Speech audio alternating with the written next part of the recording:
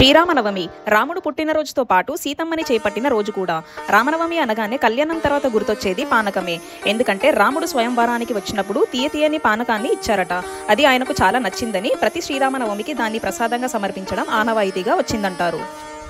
ఇక మరో కారణం రాములోరి పండగొచ్చేది చైత్రమాసంలో. ఈ మాసం నుంచే వసంత ఋతువు వస్తుంది. అంటే అప్పటిదాకా వాతావరణంలో ఉన్న చల్లదనం పోయి వేడిగాలులు మొదలవుతాయి. మారిన వాతావరణానికి శరీరం తట్టుకోవడం కష్టమే. దీంతో అనారోగ్య సమస్యలు మొదలవుతాయి. వాటి బారిన పడకుండా చేసే ఔషధమే పానకం. ప్రకృతిలో వచ్చే మార్పులకు అనుగుణంగా శరీరాన్ని సిద్ధం చేసేందుకు పూర్వీకులు ఇలా ప్రసాదాల్లో వీటికి చోటిచ్చారని చెబుతారు. తెలుగునాటే కాదు కన్నడ తమిళ ప్రజలకు పానక పానకం పేర్లతో ఇది ప్రసిద్ధి. ఆయుర్వేద ప్రకారం వేసవి వాతపిత్త సమస్యలకు కారణమవుతుంది. ఫలితమే ఆకలి లేకపోవడం అజీర్తి వగైరా. పానకంలోని పదార్థాలు శరీరాన్ని చల్లబరిచి జీర్ణ సంబంధిత సమస్యలకు చెక్ పెట్టడంతో పాటు ఉత్తేజాన్ని నింపుతాయి. ఈ కాలంలో ఎక్కువగా కనిపించే అమ్మవారు పోయడం అనే సమస్యకు ఇది నివారణ. బెల్లంలోని ఖనిజాలు చెమట రూపంలో కోల్పోయిన పోషకాలని తిరిగి భర్తీ చేస్తాయి. ఐరన్ మెగ్నీషియం వంటి యాంటీ ఆక్సిడెంట్లలో పనిచేస్తాయి. ఎనీమియా భారీ నుంచి కాపాడతాయి.